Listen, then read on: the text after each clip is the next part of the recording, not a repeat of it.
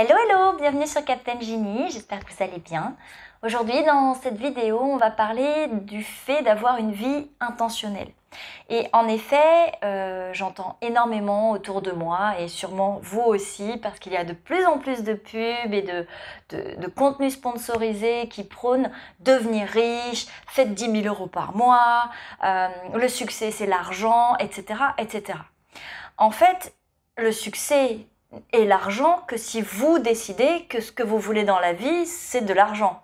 Mais il y a d'autres personnes qui vont vouloir tout simplement euh, avoir une famille. Euh, en fait, chaque ambition est différente. Donc le succès, c'est le succès, c'est ce que vous considérez comme du succès. En tout cas, c'est comme ça que je le vois. Et en parallèle, on a aussi toute cette euh, vie de nomade, nomade digital, liberté géographique, le fait de travailler chez soi, qui est en expansion et encore plus ces derniers temps. Donc, si on a euh, dans l'esprit des gens, si on lit le côté je voyage tout le temps, etc., et le succès, alors si je suis un digital nomade à succès, ça veut dire que je suis riche. Pas du tout. Ça ne veut pas forcément dire qu'on est pauvre, qu'on est uniquement en backpack et qu'on va dans des auberges de jeunesse et dans des pays euh, les moins chers comme euh, euh, Bali ou pas du tout. Pas du tout. Ça veut simplement dire que notre succès, c'est peut-être plus avoir cette liberté géographique, liberté dans une flexibilité des horaires, mais pas uniquement financière, être riche, etc. D'accord? Donc, je veux en venir à ce point pour moi, avoir du succès, et notamment donc en nomade digital, en indépendant, entre entrepreneur sur le web, avoir cette liberté géographique, liberté, flexibilité, etc., c'est simplement parce qu'on a une vie intentionnelle.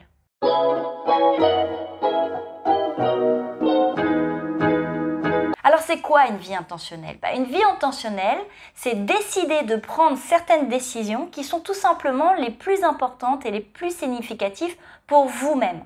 Pas ce que va vous dicter votre voisin, votre éducation, la société, ce qu'on vous devez faire, etc. C'est simplement les décisions que vous décidez de prendre parce qu'elles font sens pour vous-même.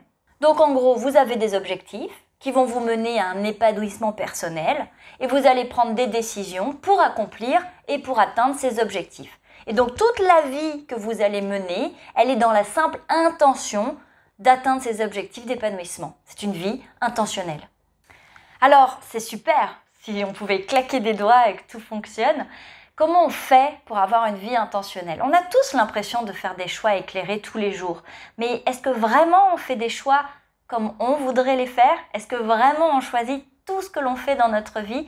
Pas forcément, et voire même pas vraiment. Alors d'abord, avoir une vie intentionnelle, ça demande beaucoup d'efforts et beaucoup de réflexion. C'est quelque chose que vous devez travailler absolument tous les jours. Tous les jours, vous devez vous poser la question, ok, est-ce que ce que je fais aujourd'hui, est-ce que je fais dans mon quotidien me correspond vraiment et c'est ce que j'ai vraiment envie de faire? Et est-ce que ça va servir les objectifs que j'ai?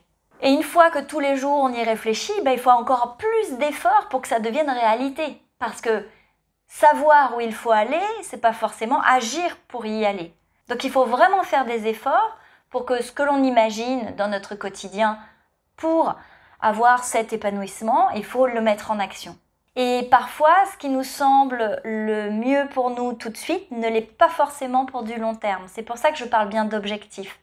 Il faut parfois savoir faire certaines choses tout de suite, même si on aimerait euh, être ailleurs ou, faire autre chose, et tout ça pour servir des objectifs à plus long terme. Donc encore une fois, votre succès, votre ambition ne dépend que de vous.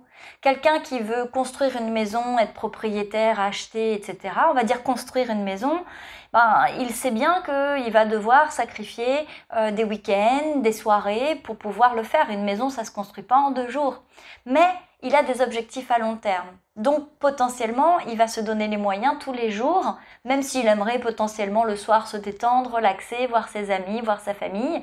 Eh bien non, il va avoir des actions intentionnelles par rapport à ses objectifs à long terme. Et c'est exactement pareil pour le business, parce que là j'ai pris un exemple plutôt de la vie quotidienne, mais quand vous avez une envie qu'une entreprise fonctionne, il faut encore une fois savoir votre pourquoi, pourquoi vous voulez être indépendant, pourquoi vous voulez être entrepreneur, digital, etc. Il faut comprendre votre pourquoi et parfois eh ben, il faut savoir euh, travailler fort pendant plusieurs mois, voire quelques années, euh, parce qu'après ben, ça va se débloquer, ça va fonctionner. Donc toujours réfléchir que ce que l'on fait actuellement peut tout simplement servir des objectifs à long terme et ne pas penser toujours que au lendemain et vivre l'instant présent. Bien sûr qu'on vit l'instant présent, mais on réfléchit toujours à ce qu'on veut vraiment au final. Alors il faut aussi garder en tête que malheureusement, on ne peut pas toujours contrôler tous les résultats. Et oui, parce que même si vous réfléchissez, si vous prenez des décisions, si vous avez une vie intentionnelle, eh ben potentiellement ça va pas forcément toujours se dérouler comme prévu. On voit bien en ce moment encore une fois. Je pense que cette année 2020, mine de rien, même si elle a été, euh, enfin elle n'est pas finie, hein, mais si elle est difficile, euh, elle nous a quand même appris pas mal de choses. Hein. Bon, c'est une parenthèse, mais voilà, on voit bien qu'on aurait pu prévoir absolument tout ce que l'on voulait. Il y a des gens qui ont prévu des tours du monde, il y a des gens qui ont prévu euh, des expansions de business et qui ont même démarré un business début 2020. Euh, il y a des personnes qui, comme moi, avaient prévu tel ou tel voyage, en tout cas euh, maison à l'international. Et en fait, personne n'a pu vraiment aller faire ce qu'il avait prévu. Maintenant, il a pu se réorienter, en tout cas je l'espère pour la plupart. Et donc on voit bien que les résultats n'ont pas été ceux qui étaient escomptés en début d'année. Mais ce qui est important, ok, on ne peut pas toujours avoir euh, main sur les résultats, mais ce qui est important, c'est de continuer à prendre des décisions intentionnelles, tout le temps, tout le temps, tout le temps. Alors oui, parfois les choses vont mal et on peut être démoralisé, mais il faut surtout se dire que ça nous permet de trouver encore d'autres moyens pour accéder au bonheur, à l'épanouissement, euh, à l'atteinte de nos objectifs. C'est pas une ligne droite la vie, hein, c'est plusieurs chemins, c'est des courbes, etc. Mais voilà, c'est des montagnes qu'on gravit, on redescend, etc. Et justement, c'est avec mon troisième point, cette vie intentionnelle et ces décisions surtout intentionnelles, eh ben, il faut absolument pas que ce soit un plan complètement rigide. Et on comprend bien pourquoi. Une vie intentionnelle, c'est simplement un plan de route pour atteindre des objectifs d'épanouissement personnel. Mais si vous vous tenez à un plan extrêmement strict extrêmement rigide, malheureusement, vous allez fermer la porte déjà à réorienter quand il y a besoin, mais surtout à toutes les opportunités qui peuvent se présenter autour de vous. Alors c'est d'ailleurs pour ça que j'aime pas trop, euh, c'est hyper tendance, euh, les routines matinales. Alors le matin, faut se lever à 5 heures, après faut prendre une douche froide, euh, après faut boire un bon verre de gingembre citron eau chaude. Bon, euh, toutes ces routines, etc. Après je vais faire de l'exercice pendant 15 minutes, ensuite je vais faire... Non, alors je sais que c'est pas euh, vraiment un exemple encore une fois business, mais ça va exactement la même chose. On voit plein de posts en disant les milliardaires se lèvent tous à 5 heures du matin. ça m'étonnerait qu'on ait interrogé tous les milliardaires pour savoir à quelle heure ils se levaient, mais bon, c'est un autre sujet. Ce que je veux dire, c'est que tous les matins, tous les jours, la même chose, la même routine, c'est pas vraiment une vie euh, épanouissante pour le coup, c'est pas vraiment très intéressant. Au contraire, en changeant légèrement ses actions, en écoutant ses envies, en arrêtant d'agir comme un robot parce qu'on nous a dit qu'il fallait faire comme ça, vous allez améliorer votre créativité, c'est hyper important de rester créatif et puis vous allez surtout être ouvert aux opportunités. Il y a des matins où je me lève à 5 heures, ça m'arrive souvent, parce que je suis hyper motivée, j'ai envie de bosser, je bosse à fond pendant 2-3 heures.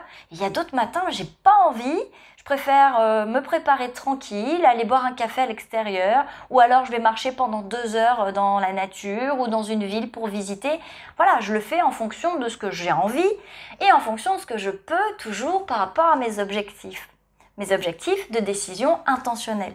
En gros, soyez pas des robots à faire tout le temps la même chose. Ouvrez-vous. Alors je serais très curieuse que vous m'expliquiez en commentaire comment vous faites pour chaque jour vivre intentionnellement. Déjà si vous le faites ou pas, euh, si vous aviez conscience de ça ou pas, et si vous le faites, parce que je sais qu'il y a beaucoup d'entre nous qui le font, euh, dites-moi comment vous faites. Est-ce que ce sont des petites choses? Est-ce que vous avez des plannings? Est-ce que comment vous faites pour avoir cette vie intentionnelle? Et si vous ne savez pas comment faire, comment démarrer, eh bien d'abord Commencez à réfléchir ce qui vous anime, ce qui vous plaît dans la vie, qu'est-ce qui compte le plus pour vous? Ensuite, vous pouvez identifier des domaines dans lesquels vous excellez, qui peuvent vous aider à accomplir ces choses qui vous font ben, vous sentir vivant. Et après, le plus dur, mais c'est toujours le cas, c'est de faire ces changements, d'agir pour que ça change. Mais faut commencer petit à petit, des petites étapes tous les jours, de se dire bon, ok, je passe à un agissement dans mes objectifs de bien-être plutôt que parce qu'on m'a dit qu'il fallait faire comme ça. Et il n'y a pas d'âge pour démarrer, parce que j'entends souvent, oui, mais moi c'est trop tard. pas du tout. Donc vraiment, commencez. Et dites-moi hein, vraiment dans les commentaires si vous avez des, des astuces, après tout, partagez, partageons. On met un petit pouce, on s'abonne. Je vous fais des bisous, je vous dis à samedi prochain. Bye bye